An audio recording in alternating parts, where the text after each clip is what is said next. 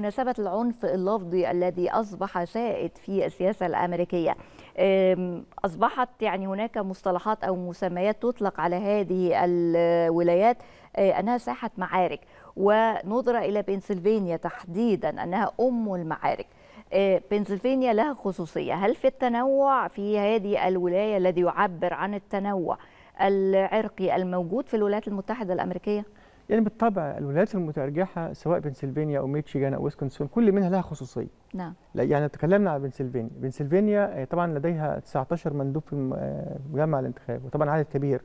هناك تغيرات ديموغرافية يعني هناك بعد كورونا هناك يعني تنوع ما بين الريف وما بين المدن هناك تنوع عرقي هناك تنوعات مختلفة.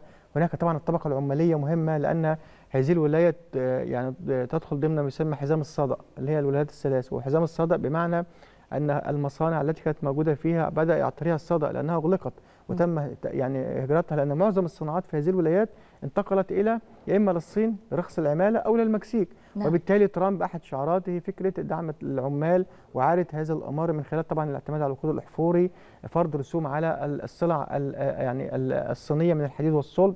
لديه رؤية واضحة في هذا الأمر. كمال هاريس تلعب على فكرة الطبقات النقابات العمالية وحقوق العمال الجانب الاجتماعي في هذا الأمر. هناك أيضا سكان الريف تغيروا بشكل كبير خاصة بعد كورونا وانتقالات في التركيبة الديموغرافيه كل هذا بيجعل هذه الولاية يعني هي متارجحه اولا كانت تقليديا هذه الولاية دائما ذات ميول ديمقراطية هي نعم. زرقاء. ولكن ترامب يعني أخذها في 2016 ومن ثم دخلت فكرة الولايات المتارجحه لأن هناك 21 ولاية في أمريكا من بين ال 50 هي ولايات ديمقراطية لا تتغير بتغير الانتخابات. في مقابل 19 ولاية جمهورية أو ولايه حمراء. الخلاف يعني 19 21 40 ولاية معروفين محسوم أمرهم. ولذلك لا يبذل المرشح جهدا كبيرا في هذه الولايات.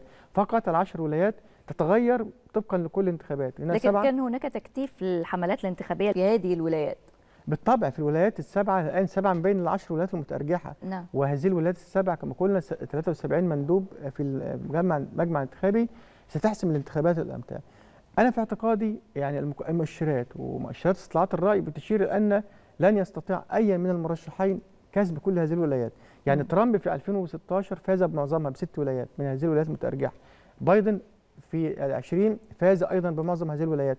هذه المرة قد نشهد انقسام يعني ربما تأخذ كامالا هاريس مثلا بنسلفانيا آه ويسكونسن آه ترامب يأخذ ميتشيغان آه مع جورجيا مع نورث كارولاينا. يعني هناك انقسام وهذا بيجعل أو توقع أن الفائز سيكون بفرق بسيط عن عن الطرف الآخر.